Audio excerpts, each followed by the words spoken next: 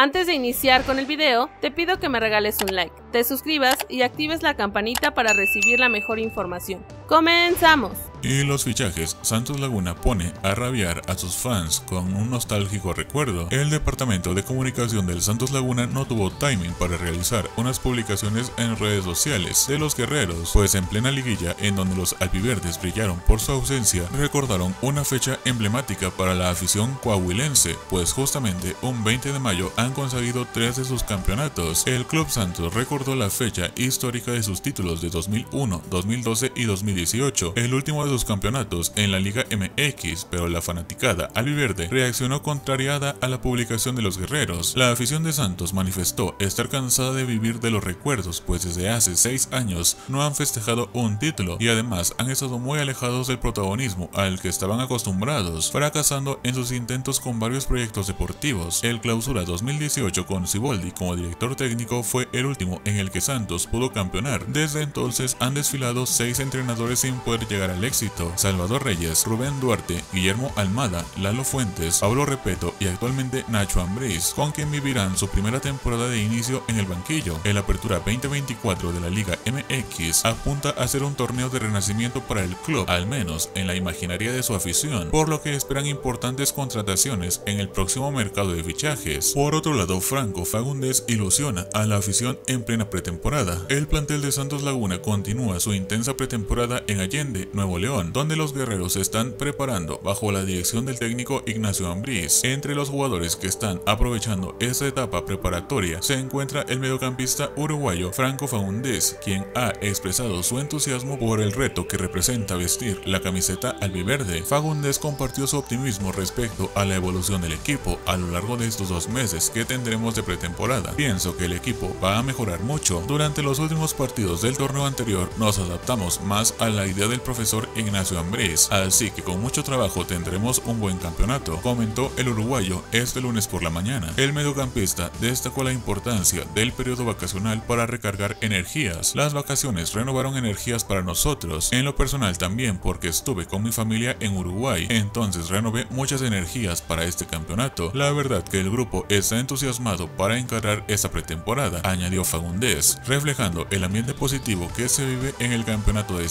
Además, Fagundes reconoció la necesidad de mejorar su condición física para estar a nivel de competencia que exige el próximo torneo. Tuve charlas con parte del cuerpo técnico y sí, la verdad es que tengo que mejorar físicamente, entonces esta pretemporada me va a ayudar mucho en el tema físico, admitió el uruguayo, demostrando su compromiso en el proceso de preparación. Ya por último, Mateus Doria tendría ofertas de Brasil y Europa. Con la llegada de Ignacio Ambriz, Santos Laguna está preparando una reestructuración en el plantel, siendo Dubán Vergara una de las bajas que más sorprendió a la afición. Sin embargo, una que nadie esperaba era la de Mateus Doria, quien no fue citado para realizar la pretemporada con el equipo. Con esta noticia, es muy probable que Doria no siga en el cuadro de la comarca para la otra temporada. De acuerdo con Daniela López Gallardo, reportera de Fox Deportes, el central brasileño naturalizado mexicano tiene varias ofertas para este verano. Doria estará como agente libre, por lo que podrá firmar con el equipo que quiera. La fuente señala que tendrá propuestas de varios equipos del fútbol mexicano, de la liga brasileña y del viejo continente. Además, otros reportes señalan que la MLS también estaría interesada. Doria tiene ofertas del fútbol mexicano, europeo y en Brasil. Por tal motivo, Santos está negociando su salida. El jugador brasileño naturalizado mexicano es de los mejores pagados en el club. Con un sueldo, Santos puede pagar a dos jugadores. Con esta salida, el cuadro lagunero se verá beneficiado, ya que Doria era uno de los mejores pagados del plantel, por lo cual con su sueldo podrían pagar hasta dos jugadores. Además, estará liberando una plaza de jugador no formado en México abriendo el abanico de posibilidades para reforzar esa posición. Y bueno, hemos llegado al final de las noticias de hoy. No olvides comentar ahí abajo qué te parecieron. Da like, suscríbete al canal y activa la campanita para así traerte siempre más y mejor información. Hasta la próxima.